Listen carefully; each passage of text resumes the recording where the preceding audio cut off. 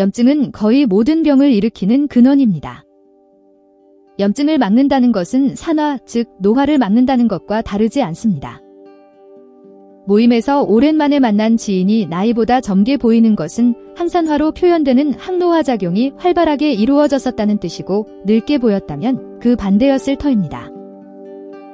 황금소는 만성염증을 줄이는 일반적인 방법에 대하여 말씀드리고자 합니다. 오메가3를 늘리고 오메가6를 줄여야 합니다.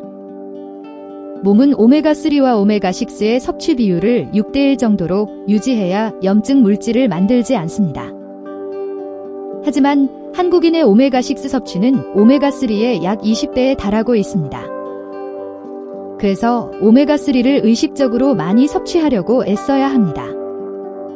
오메가3는 들기름과 등푸른 생선에 풍부합니다. 주 1에서 2회 생선을 섭취하고 하루 한 끼 정도는 밥에 들기름을 한 스푼 뿌려 먹으면 좋습니다. 음식으로 섭취하는 것이 힘들면 영양제로 먹어도 괜찮습니다.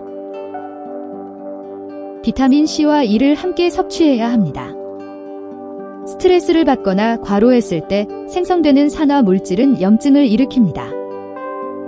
비타민 C와 안토시아닌 등은 산화 물질을 효과적으로 제거하는데 견과류의 풍부한 비타민이도 항산화 물질입니다.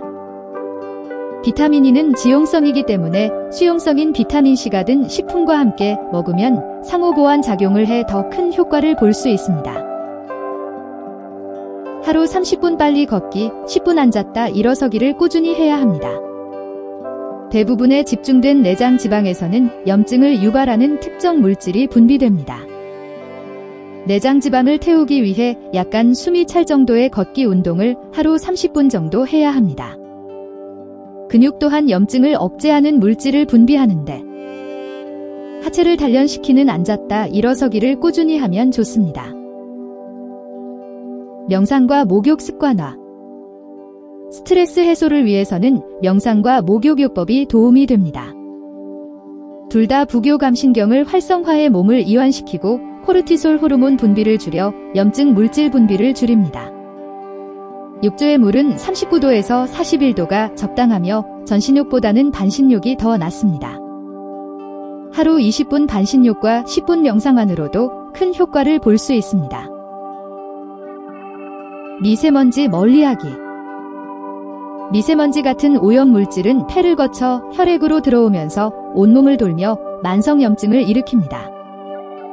니코틴이나 가공식품의 화학 첨가물도 마찬가지인데 미세먼지 농도가 높을 때는 반드시 마스크를 쓰고 외출은 자제하셔야 합니다. 흡연은 줄이고 첨가물이 들어가지 않은 자연식품을 먹으려는 노력을 하셔야 합니다. 하지만 위에 제시한 방법만으론 부족할 수 있습니다. 과학과 의학이 아무리 발달한다고 하더라도 이를 비웃듯 전혀 예상치 못했던 새로운 질병들이 발생하고 있기 때문입니다. 기존의 항생제로는 끄떡않는 바이러스가 출현하고 최신 의료기술로도 치료가 불가능한 질병들은 하루가 멀다 하고 등장하는 추세입니다.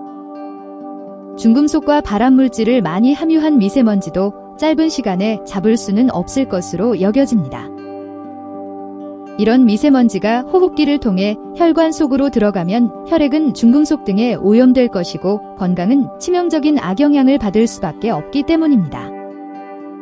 해죽수는 넉넉하게 함유된 폴리페놀 성분은 중금속을 체외로 배출시키고 혈전이나 콜레스테롤을 녹임으로써 혈액순환을 촉진시키는 물질입니다. 일반적으로 강력한 항산화 작용을 하는 폴리페놀은 뚜렷한 수렴성을 나타냅니다. 이것은 환원작용인데 어떤 물질이 본래의 상태로 돌아가려는 힘입니다. 옛 조상들께서 송편을 찔 때 넣었던 소리펜은 테르펜과 피크노제놀 등 강력한 항산화 물질이 함유되어 있음으로써 식품 등이 상하지 않게 한다는 사실을 터득하고 계셨다는 점이 놀랍습니다. 한편 1945년 8월 6일과 9일 히로시마와 나가사키에 투하된 원자폭탄 폭발 지점에서 유일하게 살아남은 식물이 대나무였고 6, 70년대 중반까지 이어진 베트남 전쟁에서 미군이 고엽제를 그토록 많이 살포했음에도 오직 대나무만 죽이지 못했다는 이야기는 대나무가 얼마나 생명력이 강하고 끈질긴 식물인지를 증명하고 있습니다. 대나무가 강한 것은 결국 대나무에 함유된 미네랄과 폴리페놀 성분 때문이었다고 전합니다. 더해서 지구에 태어난 지 7천만 년 동안 숱한 기후 변화를 견디면서 바닷가 갯벌이라는 악조건에서 살아남은 염생 식물인의 죽수는 현재까지 밝혀진 바로는 폴리페놀을 가장 많이 함유한 식물로 알려져 있습니다. 황금소는 해죽순이라는 걸출한 식품을 활용하여 출산 절벽으로 망국의 위기에 처한 대한민국을 출산 강국으로 거듭나게 만들겠습니다. 급격한 출산율의 감소로 인구 절벽에 처해 곧 문을 닫을 위기에 봉착한 대한민국을 출산 강국으로 거듭나게 하겠다는 황금손의 꿈은 기필코 이루어질 것입니다. 감사합니다. 배대열의 세상 만사 구독과 좋아요를 눌러주시면 황금손은 큰 힘을 얻습니다.